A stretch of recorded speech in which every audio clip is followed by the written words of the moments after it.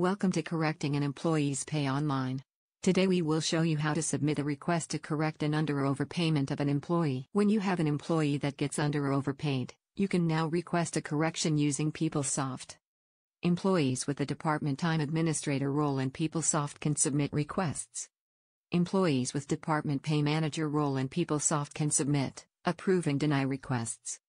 Instructions for viewing your current roles and requesting new ones can be found in the Business Process Guide linked to this course. Today we will show you how to correct an underpayment to a salaried employee, correct an underpayment to an hourly employee, correct an overpayment to a salaried or hourly employee, adjust hours for an employee, approve or deny a request. All of these procedures are really online requests that are forwarded to an approver and then to HR payroll for processing. Navigate easily to PeopleSoft from My ASU. Access My ASU by clicking on the My ASU link in the top right area of the ASU homepage. Once you have logged into My ASU, you can access PeopleSoft from either of these links. You will have to log in a second time. Once you are logged into PeopleSoft, click on these menus. ASU customization greater than ASU HCM custom greater than ASU payroll greater than and payroll correction form.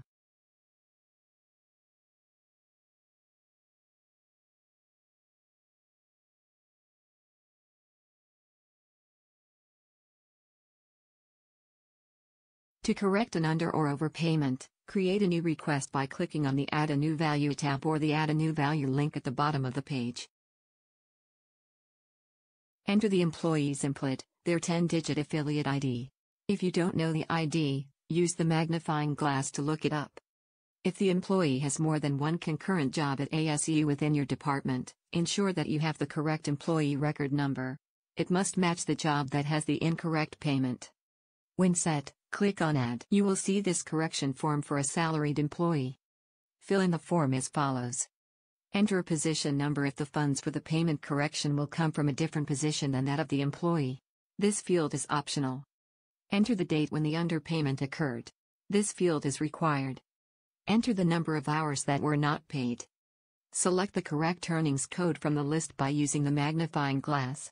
This field is required. Enter the total amount you want to pay. Note that you can either enter the number of hours, or the total amount, but not both. One of these fields, hours or amount, is required.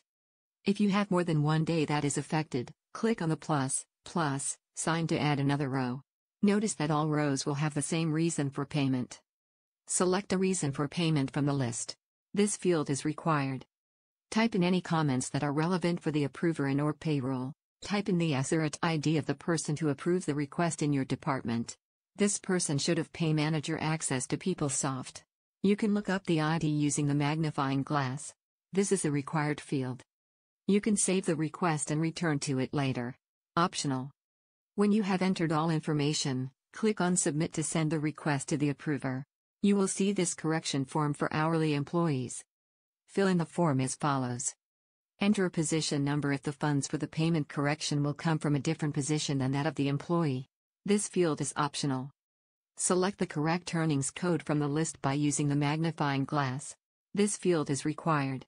Earnings codes are listed in the Business Process Guide. The hourly rate is optional. Putting a value in here will not override the hourly rate currently listed for the employee. Enter the date when the underpayment occurred. This field is required. Enter the start and end work times for the day that was underpaid, these are required. The out time and in time are available to report a significant break between the start and end times. For example, a student works from 8 a.m. to 11 a.m. and then from 2 p.m. to 4 p.m. This area can also be used to report the lunch break. These would be the hours that were not reported. For example, if a person worked 8 to 5, but only reported 8 to 12, then you would put 1300 in the in time and 1800 in the end work time. Time entry should be done in military format or adding an A or P after the time entry. For example, 1 p.m. can be entered as 1300 or 0100p. Select a reason for payment from the list. This field is required. Type in any comments that are relevant for the approver and or payroll. Type in the ASURITE ID of the person to approve the request in your department. This person should have pay manager access to PeopleSoft. You can look up the ID using the magnifying glass. This is a required field. You can save the request and return to it later. Optional. When you have entered all information, Click on Submit to send the request to the approver.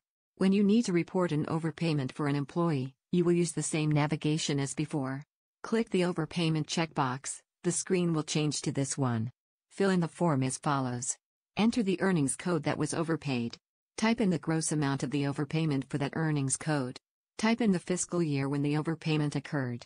Enter the pay period ending date when the overpayment first occurred. Enter the pay period ending date when the overpayment last occurred. Select an overpayment reason. Definitions for the overpayment reasons are listed in the Business Process Guide. If you have more than one earnings code that is affected, click on the plus, plus, sign to add another row. Type in any comments you want the approver to make note of. Type in the ASURITE ID of the person to approve the request in your department. You can save the request and return to it later. Optional. When you have entered all information, click on Submit to send the request to the approver.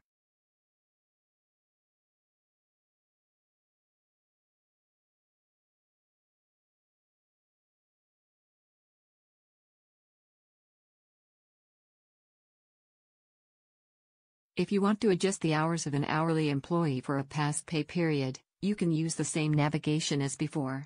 Fill in the form as follows. The example shows changing an employee's 40 hours of regular pay to 32 hours of regular and 8 hours of vacation. Type in the position number, if the funds will be coming from a different position than the one associated with the employee. Select the earning code from the list. Type in the date to be adjusted, if applicable. You can either enter hours or amounts.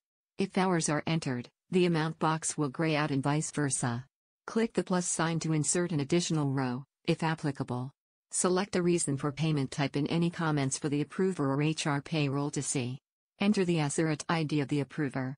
This person should have pay manager access in your department. Click on save if you want return to the screen before submitting. Click on submit to send the request to the approver. If you need to adjust hours for a salaried employee, you can use the same navigation as before. Fill in the form as follows. Enter a position number if the funds for the payment correction will come from a different position than that of the employee. This field is optional. Enter the date of the adjustment. This field is required. Enter the number of hours that need to be adjusted. Select the correct earnings code from the list by using the magnifying glass. This field is required. Click on the plus, plus, sign to add another row. Notice that all rows will have the same reason for payment. Complete steps 3, 4, and 5 again. Select a reason for payment from the list. This field is required. Type in any comments that are relevant for the approver in or payroll. Type in the ASURITE ID of the person who approve the request in your department. This person should have pay manager access to PeopleSoft. You can look up the ID using the magnifying glass. This is a required field. You can save the request and return to it later. Optional, when you have entered all information, click on Submit to send the request to the approver. If you need to pay a flat amount to an hourly employee, you can use the same navigation as before. Fill in the form as follows type in the position number, if the funds will be coming from a different position than the one associated with the employee. Select the appropriate earnings code from the list. Select the date that the payment should have been made. Type in the amount to be paid. Notice that the hours to be adjusted field has grayed out. Select a reason for payment from the list. Type in any comments for the approver or HR payroll to see. Enter the ASURITE ID of the approver. This person should have pay manager access in your department. Click on save if you want return to the screen before submitting. Click on submit to send the request to the approver.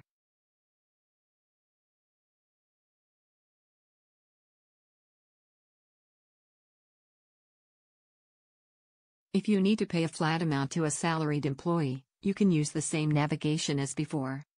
Fill in the form as follows type in the position number, if the funds will be coming from a different position than the one associated with the employee.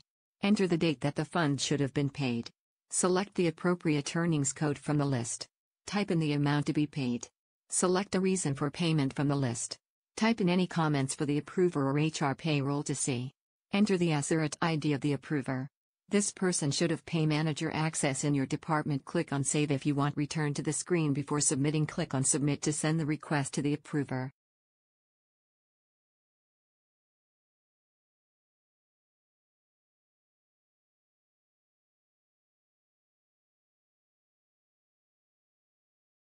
To approve requests, You must have Pay Manager access in PeopleSoft. The navigation is similar, you will use the same navigation. When you arrive at this screen, instead of clicking on Add a new value, put in the search criteria for the requests in your department and click on Search. The results or your search will display. You can sort the display by clicking on the column headings. Click on a link in any row to retrieve that request. Definitions of the different statuses are listed in your business process guide. Review the request, add any comments for OHR payroll, click on approve or deny. This will forward the request to payroll via PeopleSoft.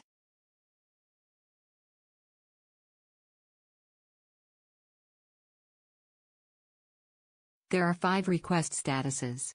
An open status means that the action is created and saved. A submitted status means the action is waiting approval. An approved status means the action is ready for payroll processing. An in progress status means that the action is being processed by payroll. A closed status means that the action is processed by payroll. Your business process guide has step by step instructions and an appendix with descriptions of earning codes, statuses, descriptions, and reasons for payments. This concludes this presentation.